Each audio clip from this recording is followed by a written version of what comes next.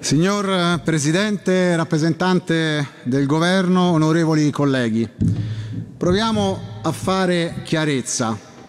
Prima di parlare del DL Energia vorrei tentare di fare un'introduzione generale sulla politica energetica per poi passare al provvedimento nello specifico. Intervengo in questa veste anche come responsabile di innovazione della mia forza politica perché, vedete, innovare significa occuparsi trasversalmente di tutti i settori produttivi nazionali, dalle energie alle start-up, al design, alla sicurezza delle reti, fino al rapporto tra tecnologia e uomo. Il conflitto russo-ucraino ha ulteriormente aggravato la già critica situazione di incertezza economica che ha caratterizzato gli ultimi mesi del 2021 a causa di, costante, eh, di un costante e vertiginoso aumento dei costi e dell'energia. Secondo un'indagine appena realizzata da Confapi, su una scala da 1 a 10, il costo dell'energia elettrica incide sull'utile d'esercizio tra 5 e 10 punti per il 29% delle aziende interpellate, mentre, colleghi, per il 25,8% inciderà tra l'11% e il 30%. Questo viene testimoniato ancora dall'ulteriore aumento dei costi dell'acciaio, un altro asset una volta strategico per l'Italia, di circa il 20% in meno di 10 giorni, l'irreperibilità di materiali come il bitume o il fermo della catena di approvvigionamento che sta di fatto paralizzando progressivamente i cantieri. Nessuna impresa, grande, media o piccola, può reggere un impatto così rapido, rapido e devastante. La situazione, colleghi, è ormai fuori controllo. I cantieri, le vetrerie, le aziende di ceramica, i teatri, i cinema stanno chiudendo e il PNRR, come denunciato anche da Giorgia Meloni, rischia di fallire. Del resto, colleghi, il contesto di guerra che stiamo vivendo determina tuttavia delle ripercussioni immediate ed attuali sulla sopravvivenza stessa del nostro sistema produttivo che rischia di non arrivare all'appuntamento col futuro se non pesantemente compromesso e messo in ginocchio. Non è immaginabile, infatti, che le imprese possano assorbire prezzi di borsa del mercato elettrico che sono arrivati a toccare come sappiamo i 388 euro a megawattora, quando lo scorso anno il prezzo medio nazionale si attestava addirittura sui 60 euro a megawattora. Nel corso del 2021, pensate, il prezzo dell'energia elettrica e del gas in Italia sono aumentati del 400%, nel 2022 del 200%. Citando l'ISPI, che non è Fratelli d'Italia, il costo dell'energia per le imprese italiane potrebbe toccare i 37 miliardi di euro nel 2022, una cifra quasi 5 volte superiore rispetto al 2019 e in salita persino rispetto ai già elevati 21 miliardi del 2021. Per confronto, la bolletta per le imprese prevista per il 2022 sarebbe da sola superiore all'intero ammontare dei fondi destinati dal PNRR al Ministero della Transizione Ecologica, 34,9 miliardi di euro, come sappiamo. Se i prezzi dovessero rimanere a questi livelli, colleghi, la crescita del PIL italiano potrebbe essere dello 0,8 inferiore al previsto nel primo trimestre del 2022 quasi un terzo, 500.000, dei posti di lavoro nei settori più energivori sarebbero a rischio. Nel frattempo, invece, l'Europa ha deciso un quinto round di sanzioni sull'energia e altri settori dell'import-export con la Russia. Il carbone russo rappresenta oltre il 45% delle importazioni di combustibile solido nell'Unione Europea. Il mercato è in forte tensione, c'è grande domanda ed il prezzo è altissimo, come sappiamo. Senza pensare a famiglie e imprese rischiamo il tracollo. L'Europa importa infatti due tipi di carbone dalla Russia, quello metallurgico, utilizzato per produrre l'acciaio, e quello termico, utilizzato per la generazione di energia. Anche per questo con Giorgia Meloni abbiamo chiesto un fondo perequativo in un incontro direttamente col capo dello Stato Mattarella perché evidentemente il Presidente Draghi, il governo sedicente dei migliori, non ha tempo per ascoltare l'opposizione. L'Unione Europea, lo ricordo, dipende dalle importazioni di combustibili fossili, gas, petrolio e carbone per un fabbisogno energetico tra il 57 e il 60%.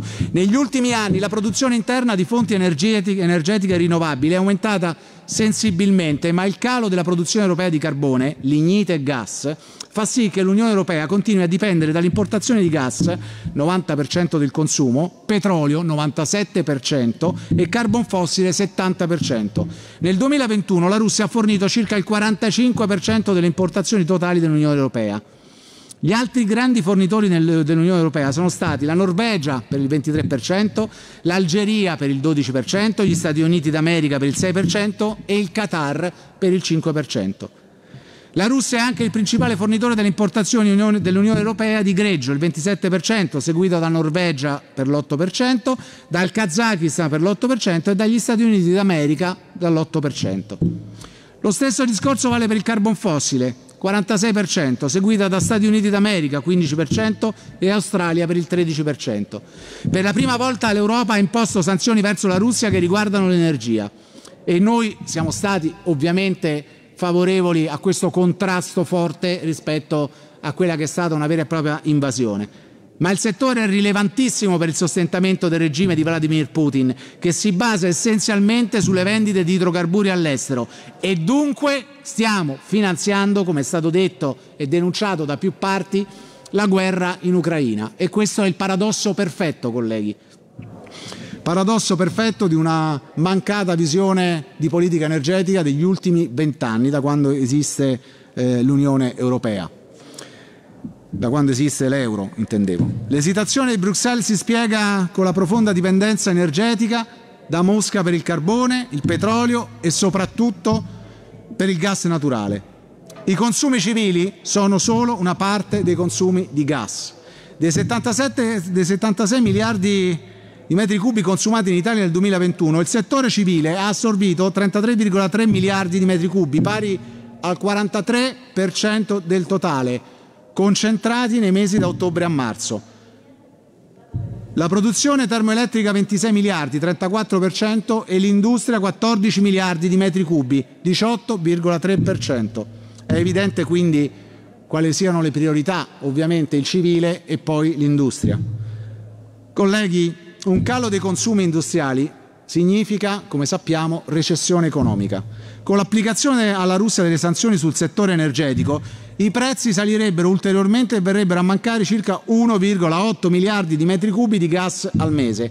A quel punto il governo dovrà decidere se riempire gli stoccaggi in vista dell'inverno o tagliare i consumi del comparto industriale, cosa che provocherebbe una grave recessione economica. Non si tratta, come ha detto semplificando in maniera quasi puerile il Presidente Draghi di scegliere tra il condizionatore e la pace. Si tratta di scegliere tra il futuro e il destino dell'industria italiana e la difesa nostri, delle nostre famiglie.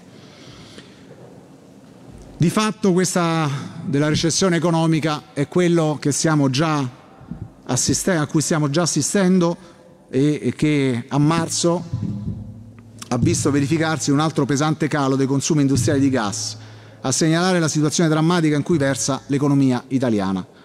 Dopo il meno 9,3 di febbraio, il mese di marzo ha fatto registrare un preoccupante meno 10,3. Nei 31 giorni appena terminati l'industria italiana ha consumato 1,18 miliardi di metri cubi di gas, circa 130 milioni di metri cubi in, me in meno rispetto allo stesso mese del 2021. Nel primo trimestre l'arretramento del consumo industriale rispetto allo stesso periodo del 2021 è dell'8,1%. Questi, colleghi, sono dati inquietanti perché non derivano da risparmio voluto, ma da una necessaria flessione delle produzioni dovuta appunto ai costi. Vedete, la scorsa settimana abbiamo tenuto una missione istituzionale in Lettonia con tutti i rappresentanti delle forze politiche, con incontri di alto livello con il governo lettone, con, eh, come bilaterale di amicizia con i paesi baltici. Paesi baltici che stanno dando una risposta all'indipendenza del gas russo, come la Lettonia, che ha annunciato che rinuncerà al 100% della fornitura. E, come la Lituania, scusate. La Lettonia starà progressivamente, farà la stessa cosa e lo stesso l'Estonia. Siamo stati in visita alla base di Adazi e eh, la base militare NATO, che è un vero e proprio modello di quella NATO europea che dovremmo andare a consolidare in tutte le altre basi, e cioè una base fatta da interforze, da interforze europee che in maniera autonoma sviluppino, grazie a una politica estera finalmente europea e fino ad oggi non c'è stata, come abbiamo sempre denunciato, possa fare eh, gli interessi e la difesa e la deterrenza proprio su quel confine baltico che oggi è il confine eh, più preoccupante per quello che sta accadendo. Tanto è vero che l'operazione in quel contesto e a quel confine si chiama Sentinella Baltica. Il motivo è evidente, abbiamo espresso solidarietà ai nostri ragazzi, uno splendido contingente di 250 uomini che sono lì e rappresentano l'Italia, rappresentano quella, quella, quella nuce di esercito europeo interforze, non di un unico esercito ma di un coordinamento di interforze europeo che ora la Nato sembra intenzionata a costituire proprio sul confine baltico e che noi abbiamo sempre eh, sostenuto dai tempi non sospetti prima ancora della crisi. Ma ritornando al Parlamento, qualche mese fa il Copasir ha rilasciato un documento conclusivo su un'indagine conoscitiva proprio sulla transizione ecologica, anche qui anticipando, grazie al suo lavoro, anticipando poi quello che sarebbe accaduto. Il rapporto del Copasir, colleghi, parla di minacce asimmetriche anche nel mondo dell'energia, che come sappiamo è uno strumento geopolitico. La tempesta dei prezzi energetici che da mesi scuote i mercati europei può colpire con particolare violenza il comparto italiano e avere ripercussioni sulla sicurezza. L'interconnessione del sistema di approvvigionamento europeo potrebbe provocare, in caso di spegnimento di una singola centrale, ad esempio per mancanza di carburante, una reazione a catena che colpirebbe tutti i Paesi membri. Basti pensare che la chiusura dei due reattori di EDF, la società francese che gestisce un parco elettronucleare di 56 reattori a fissione nucleare di uranio, il 10% della capacità nucleare francese, assieme alla previsione del forte calo delle temperature, ha inciso fortemente sull'aumento dei prezzi europei dell'elettricità. Uno degli obiettivi principali da raggiungere, quindi, si legge, è la diversificazione delle fonti energetiche e delle sedi di approvvigionamento per superare o quantomeno attenuare lo stato di dipendenza rispetto ad altri paesi. Che significa, tradotto, chiudere la stalla quando i buoi ormai sono fuggiti, perché questo è successo per mancanza di una seria strategica politica energetica unitaria dell'Unione Europea.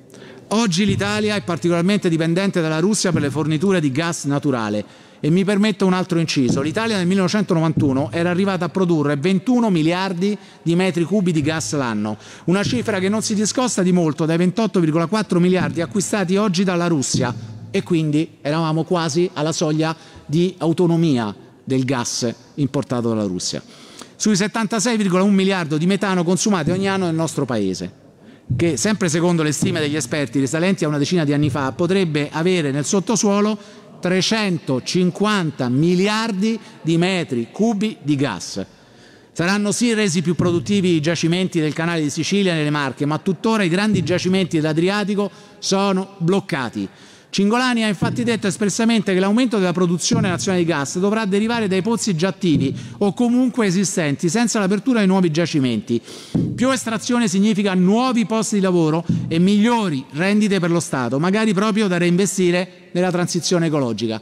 Questo lo farebbe una nazione che eh, appunto potesse avere una visione strategica eh, geopolitica dell'energia.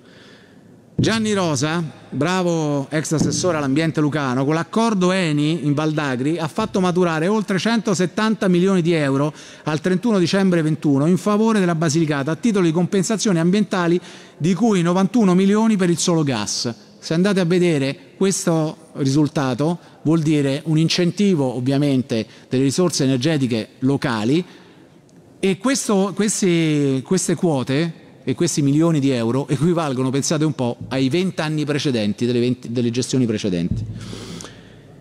Il Copasir poi è inoltre concentrato in particolare sull'idroelettrico, definito uno degli ambiti nei quali il nostro Paese presenta un notevole vantaggio competitivo e non c'è bisogno di spiegarlo a nessuno il motivo per cui questo potrebbe esserlo. L'idroelettrico è una fonte energetica rinnovabile, quindi coerente con il percorso di transizione ecologica. Inoltre, colleghi, a differenza delle rinnovabili, della produzione intermittente come l'eolico e il solare, l'idroelettrico è modulabile e può garantire dei livelli di stoccaggio attraverso i pompaggi, andando così a migliorare la stabilità della rete elettrica. L'attuale disciplina legislativa italiana nel settore dell'idroelettrico, afferma il Copasir, mette a rischio, mette a rischio, colleghi, il controllo di asset strategici per la sicurezza del sistema energetico e per l'autonomia energetica nazionale, consentendo la partecipazione alle nuove gare di società estere con un conseguente indebolimento della posizione competitiva del sistema industriale italiano. Come vedete cito documenti ufficiali del Copasir, non è propaganda, stiamo facendo di tutto per in un momento di crisi eh, emergenziale come questa per far fare shopping alle multinazionali dell'energia anche europee. In Italia esiste in effetti una filiera locale associata a questa energia. Nel caso di altre fonti rinnovabili, come l'eolico e il solare, invece, la catena del valore è dominata dalla Cina, come sappiamo. È nettamente la prima produttrice di pannelli e turbine, oltre a controllare gli approvvigionamenti dei materiali di base come le terre rare. Su questo noi sappiamo la posizione Fratelli Italia è sì a favore delle rinnovabili ma anche a tutela del paesaggio, soprattutto sull'eolico, sui parchi eolici che in alcune regioni meravigliose d'Italia hanno devastato il paesaggio, per cui ci sono formule nuove come in Nord Europa per fare l'eolico in eh, aree industriali dismesse o in alto mare e, eh, e invece in stato, su cui in Italia non è stato eh, fatto nessuna valutazione perché era più semplice distruggere il paesaggio. E diciamo con malizia forse l'interesse di una certa forza politica di maggioranza rispetto a questo MITE, eh, questo Ministero della Transizione Ecologica che sembrava essere il motivo di possibile eh, non entrata di una nota forza politica di maggioranza all'interno del governo, insomma sul fatto che la filiera sia tutta dominata dalla Cina pone degli inquietanti interrogativi che rimbalzano in questi banchi. Il dibattito pubblico poi si occupa dei temi della transizione ecologica sul piano della concorrenza e dell'economia, ma negare le complessità internazionali rischia di confinare l'Italia nella dipendenza energetica e tecnologica. Cito Kissinger che ebbe a dire chi controlla l'energia può controllare tutti i continenti. Molte posizioni di Kissinger non le ho mai eh, condivise, ma questa analisi è un'analisi assolutamente lapalissiana. Il provvedimento che oggi inizia il proprio iter in aula è arrivato alla Camera composto da più di 40 articoli, nell'ennesima prassi governativa della decretazione d'urgenza abusata a più non posso anche in provvedimenti omnibus come questi che meriterebbero un esame molto più approfondito, che però non c'è permesso. Mi richiamo alla sentenza della Corte Costituzionale 244 del 2016 che aveva coniato l'espressione provvedimento contenuto plurimo, per evidenziare l'insistita eterogeneità di questo, decreto, di questo decreto, cinque titoli tutti diversi, eterogeneità accentuata nel percorso emendativo. La nostra azione emendativa come forza parlamentare è stata posta verso il sostegno alle filiere produttive nazionali colpite dal caro bolletta e come è stato detto dalla collega Lucaselli ogni volta eh, ci dite ce ne occuperemo la prossima volta. Il conflitto in Ucraina poi sta provocando lutti e devastazioni come purtroppo è davanti ai nostri occhi ogni giorno e noi siamo ovviamente e dal primo momento con il popolo ucraino e con eh, chi difende eroicamente le proprie case contro l'aggressore russo. Ma la guerra ha innescato una reazione a catena pericolosa e preoccupante per quanto riguarda l'energia, sempre perché in geopolitica c'è sempre un prima e il prima è che l'Unione Europea era un gigante commerciale ma un nano geopolitico.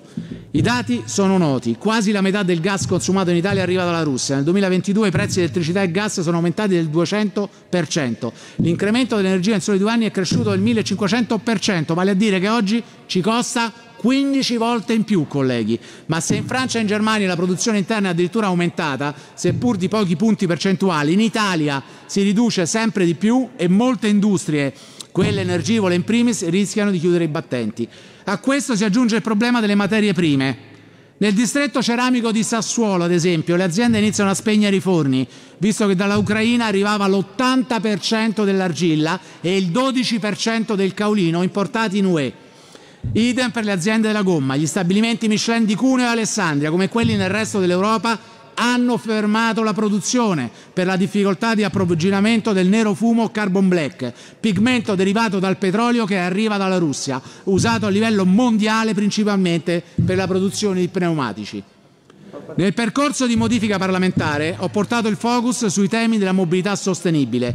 Ieri si è chiusa la Formula E, manifestazione sportiva all'insegna della sostenibilità e dell'innovazione. Un'occasione certo per valorizzare lo splendido quartiere Eur nel mondo e tutta Roma e una politica per la sostenibilità. Un grande evento internazionale che fu deciso dal centrodestra in Campidoglio e poi divenuto realtà solo dopo ben due amministrazioni, dieci anni dopo. Questo è il paradigma della lentezza sulla strategia sostenibile dell'Italia. In particolare ho presentato un emendamento condiviso con altri gruppi parlamentari per l'estensione del fondo della transizione automotive del Mise per lo sviluppo del settore verso forme più innovative e sostenibili. L'emendamento proponeva di ricomprendere fra gli interventi finanziati dal fondo anche misure agevolative per l'acquisto e la posa in opera delle infrastrutture di ricarica per i veicoli elettrici. In tal senso, colleghi, per capirci, la proposta avrebbe aiutato ad accelerare la transizione verso la mobilità elettrica, in particolar modo nei contesti urbani, sostenendo contestualmente la diffusione delle infrastrutture di ricarica. Emendamento presentato trasversalmente, tenuto in piedi solo da Fratelli d'Italia e ritirato da tutte le altre forze di maggioranza. Anche in questo caso ce ne occuperemo in un altro provvedimento. Notevoli infatti sono le difficoltà dei consumatori, ad esempio se facciamo l'esempio sulla densità delle stazioni di ricarica, a Roma è di 0,07 per chilometro quadrato, inferiore a Milano che è pari a 0,11 per chilometro quadrato, mentre nella città metropolitana di Parigi siamo a 7,8 per chilometro quadrato. Colleghi, Bisogna rendere più agevole la mobilità sostenibile investendo fortemente sull'offerta di infrastrutture, sbloccando la complessità burocratica e l'endemica mancanza di fondi nelle casse comunali anche tramite partenariati pubblico-privati, dalla fase progettuale a quella di raccolta di finanziamenti. La domanda, già importante, va sostenuta tramite accordi con gli operatori per accelerare la crescita della distribuzione di energia attraverso le colonnine. Ce ne sono, ad esempio, a Roma centinaia di ACEA bloccate per burocrazia. L'emendamento purtroppo è stato respinto, come vi raccontavo, in sede di commissione. Così come è stato non votato un emendamento condiviso con la quasi totalità dei gruppi per snellire le procedure sull'area idonea ad evitare lo stallo amministrativo per interventi su fonti rinnovabili già realizzate in area con vincolo paesaggistico, ovvero laddove laddove eh, c'è già un impianto che è eh, obsoleto e deve essere aggiornato, che ha già avuto il vincolo paesaggistico, il superamento del vincolo paesaggistico e l'approvazione, non si capisce per quale ragione invece di concedergli eh, semplicemente il rinnovamento degli stessi impianti con, stesse, eh, con, gli stessi vincoli, devono rifare da capo tutta eh, la pratica, alla faccia della innovazione. E anche qui tra i 160 emendamenti boccia, eh, accantonati e poi bocciati di cui avete fatto strage, questo si era salvato, ma poi ovviamente per questioni procedurali non è stato possibile votarlo, ma anche qui eh, noi abbiamo mantenuto la segnalazione di questo emendamento perché riteniamo una logica di buonsenso nell'ambito della semplificazione, tutelare il paesaggio ma semplificare almeno gli impianti già esistenti. Infine, colleghi, è stato nella formazione dell'atto approvato un emendamento condiviso con la maggioranza per garantire una maggiore flessibilità temporale nell'uso dei combustibili alternativi, mitigando l'impatto del caro energie per le imprese del cemento, sempre perché Fratelli d'Italia è a fianco delle imprese, soprattutto nella filiera produttiva essenziale. Si introducono così norme più snelle per i combustibili secondari con un doppio vantaggio, aiuto al comparto e vantaggio per l'ambiente nel segno dell'innovazione. La nuova previsione contribuisce a ridurre le emissioni di ossidi di azoto abbattuti dall'industria con soluzioni ammoniacali di sempre più difficile reperimento e determina una riduzione delle emissioni di CO2 grazie al contenuto di biomassa in essi presente. Quindi un'iniziativa a favore della sostenibilità nella produzione industriale. Un ultimo inciso. Va salvaguardato l'obiettivo costituzionale della libertà di stampa gli identici emendamenti dei colleghi Bressa e Giacobbe al DL concorrenza sulle tirature regionali rischiano di compromettere la legalità della diffusione della nazione in Toscana, del centro in Abruzzo, dell'Unione Sarda in Sardegna, del Mattino in Campania, della stampa in Piemonte e altre testate storiche. Lo stesso per le contribuzioni dirette per l'editoria dove sempre Bressa e Giacobbe sono intervenuti. E ci chiediamo a che titolo, visto che stiamo parlando di editoria e visto che la filiera editoriale è in ginocchio e invece di aiutarla proprio sull'energia, proprio sulla produzione, proprio sulla defiscalizzazione, voi che fate? Presentate emendamenti di maggioranza per colpire queste filiere. E esprimiamo al Presidente Ripser della FIEG tutta la nostra solidarietà perché Fratelli d'Italia è sempre stata e sarà sempre in prima fila per l'editoria nazionale. Non solo vengono promossi emendamenti estranei come questi rispetto all'oggetto del provvedimento intervengono su una materia in corso di svolgimento, ma si riferiscono a un unico soggetto editore del quotidiano Dolomiten, contravvenendo alla necessità costituzionale anche delle tutele delle minoranze linguistiche che sempre andate sbandierando. Colleghi, sul paradigma dell'innovazione va costruita la nostra politica energetica, nella meridiana dell'interesse nazionale. La Emrod sta costruendo, pensate un po', delle reti wireless per elettricità, come già ideò, progettò in maniera visionaria Nikola Tesla, col suo sogno preveggente. La dimostrazione che bisogna investire nell'innovazione e bisogna seguire quelle che sono le visioni di chi anticipa, come fece Tesla, queste innovazioni. Non possiamo rimanere succubi dei movimenti NIMBY, di chi dice no a tutto, anche in questa maggioranza. Concludo, colleghi, citando Carlo Rubbia, che certo non è Fratelli d'Italia. Il sole non è soggetto ai monopoli e non paga la bolletta. Mi creda, questa è una grande opportunità per il nostro Paese. Se non lo faremo noi, molto presto lo faranno gli americani, come è accaduto del resto per il computer vent'anni fa. Grazie.